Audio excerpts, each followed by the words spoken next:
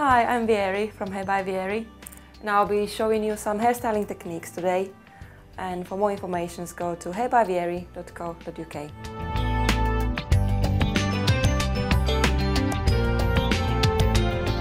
Today I will show you how to do variations of a ponytail. I prepared my model's hair into high ponytail, which you can see in my other video. Uh, now, using a hair from underneath, we will wrap the hair around the headband, hiding the headband completely and creating catwalk effect ponytail. When you wrap the hair around tightly, secure the end of the hair using grip, curvy grip, ideally in the color of the hair. So for this model I'm using goldy kind of color. Try to use two curvy grips and make sure they cross each other just to double secure it in the cross. Do that again and then show us the grip so if you turn around. Which way? And then That way? Yeah. So you can just lift the hair so we can see the grips. No, you can't see them. Oh, you can't. It's the- oh, that's the point. Yeah. That's the point, not to see. Yeah. and then just say, just do the, the cross thing with your finger. Yeah. So position the grips in the hair, crossing each other. So that way you double secure it.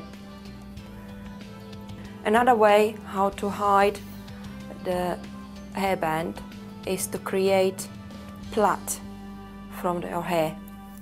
Again, take a section from the bottom of your ponytail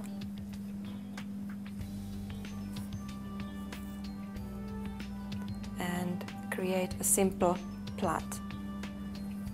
Make sure all the sections are clean before you start.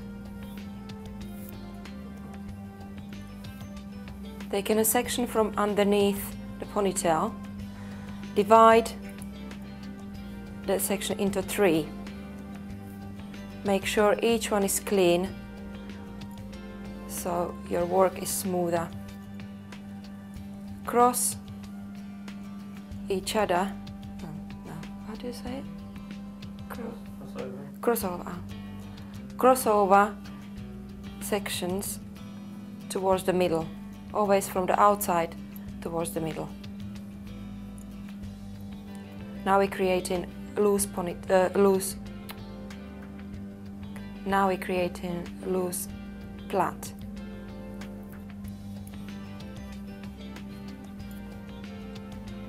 Pull sides of the plait holding the plait on the bottom. This will create the covering for the hairband wider.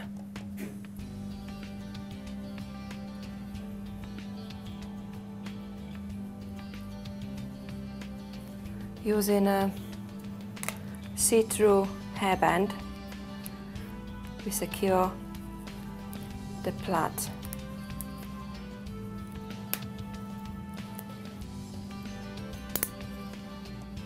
And now just wrap it round your ponytail. So it's nice and tight. Using two curvy grips, we secure the bottom of the ponytail. So it's tight. And again, we put it in a cross so they are tight.